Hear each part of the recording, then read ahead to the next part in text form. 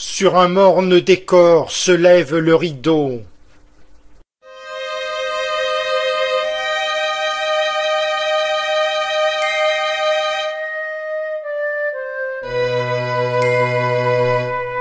Tout sur terre a changé.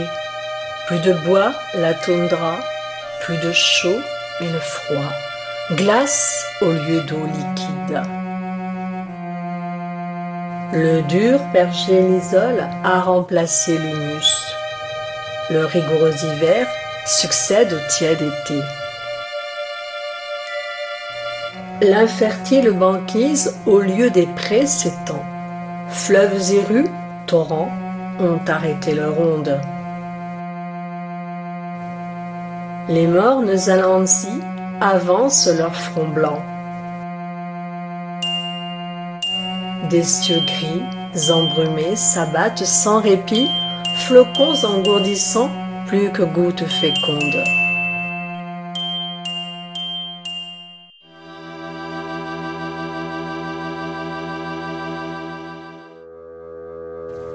Tout semble avoir péri. Plus rien ne paraît vivre.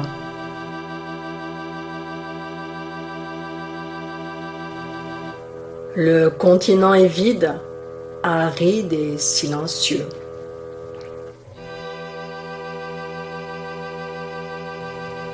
Partout, de place en place, un fémur, un tibia, de colossaux débris jonchent le sol désert.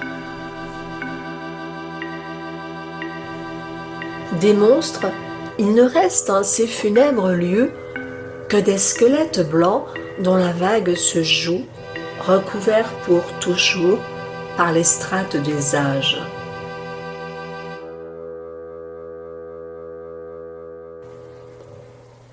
Pas un mouvement, pas un bruit, pas une haleine.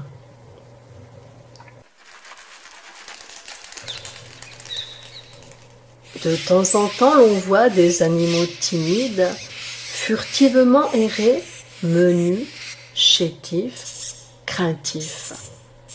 Les voilà moins peureux qui bientôt s'aventurent. Le poil sur la peau souple a remplacé l'écaille. Les farouches regards sont devenus inquiets. Des cris ont remplacé les stridents sifflements. Des trilles mélodieux s'élèvent des bosquets dans lesquels résonnaient les grondements sauvages.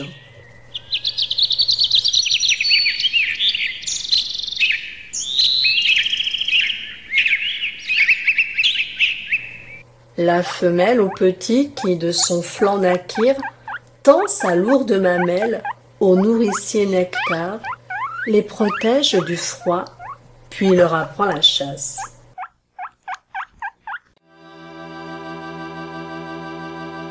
Dans les fissurations des rochers non loin d'eux, se cachent humiliés d'infimes créatures, de leurs membres pathos dandinant, risibles, frais le fils des vainqueurs autrefois terrifiants.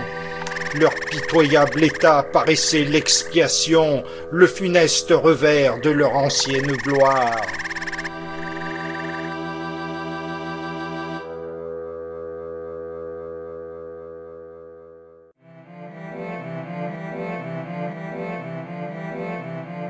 Continuellement, sans fin, les générations passent.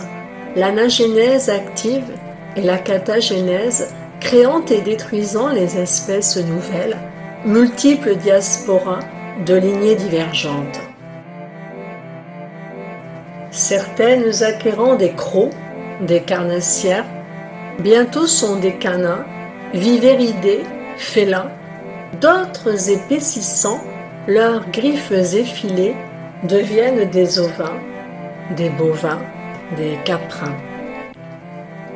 Des êtres se mouvant par souple brachiation virent leurs mains s'agrandir, s'allonger leurs phalanges.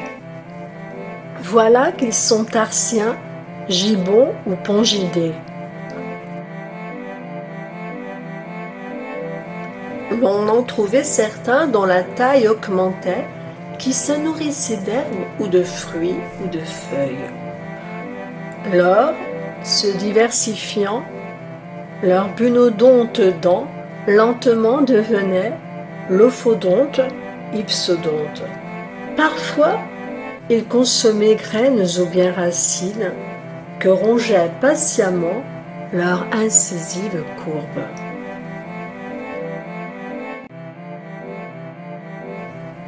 D'autres encore se muent en insolite forme. Voici Meurotherium qui décuple son poids, sa lèvre se prolonge en musculeuse trompe. Ses dents s'hypertrophient en robuste défense. Maintenant le voici, mastodonte et mammouth, pendant que d'autres voient leur queue, leur nez pousser pour devenir enfin Pangola, tamanoir.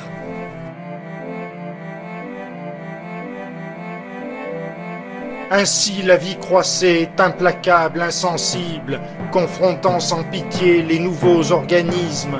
L'affamé créodonte au fond des taïgas poursuivait sans répit les troupeaux d'Hyparion. Là, Mégacéros fuit devant Macérodus, qui le traque en pointant ses canines aiguës. Mais le singe Adapi s'agrippe un rameau proche, car dans le noir sous-bois férocement flamboie les deux yeux rougeoyants de la hyène vorace.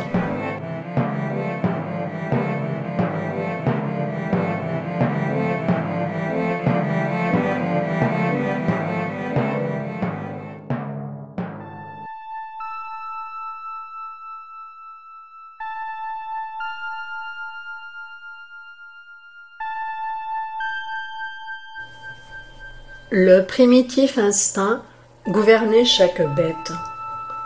Pourtant l'intelligence en elle balbutiait. Le courage et la peur, l'angoisse et la frayeur s'emparaient des cerveaux où mûrissait une âme. Le tremblant éléphant quittait sa harde chair comme s'il entendait un signe mystérieux puis rejoignait un lieu recouvert d'ossements. Pour ne plus se lever, il se couchait sans bruit. Ses compagnons en vain cherchaient le frère aimé qui vécut avec eux leurs peines et leurs joies. Lors, de vagues sanglots secouaient leurs poitrails. De grands lions regagnaient l'antre de leur naissance. Moribonds, ils voyaient, au fond de leur mémoire, le souvenir lointain de leur ancienne mère. Des aigles qui sentaient confusément en eux, face à l'immensité, l'infinie solitude, sur les monts désolés, jetaient leurs cris lugubres.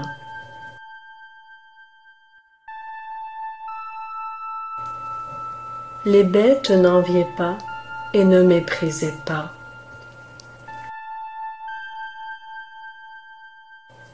Le tigre sans passion tuait le gnou timide qui n'avait de rancune envers le prédateur dont le croc meurtrier lui ravissait le souffle.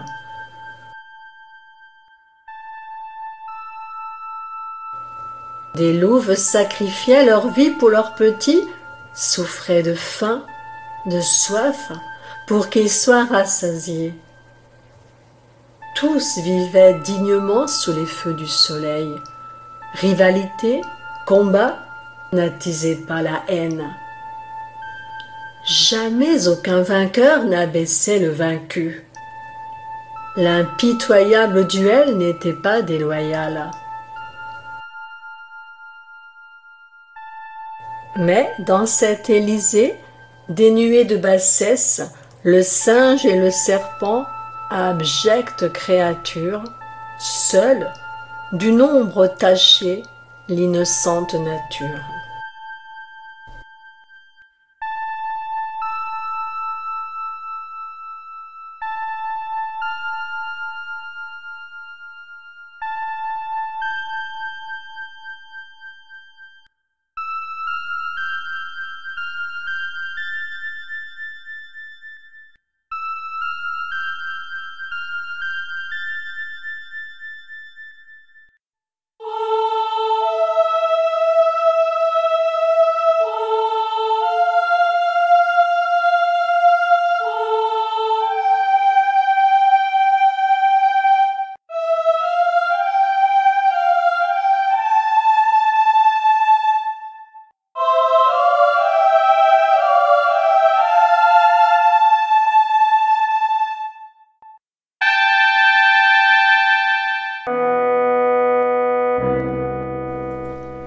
Parmi les animaux qui noblement luttaient, parut un simien laid, ricaneur, impudent.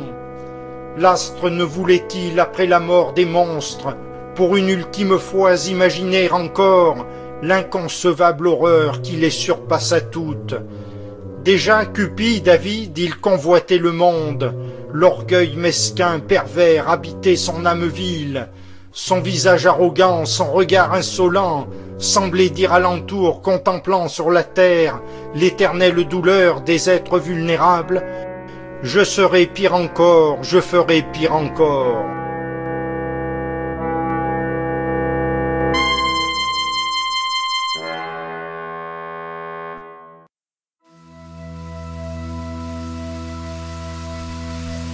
Ainsi le temps passait inexorablement, seconde par seconde, année, siècle par siècle, formant, pensant les mots, offrant comme pâture les corps aux prédateurs et la mort à la vie.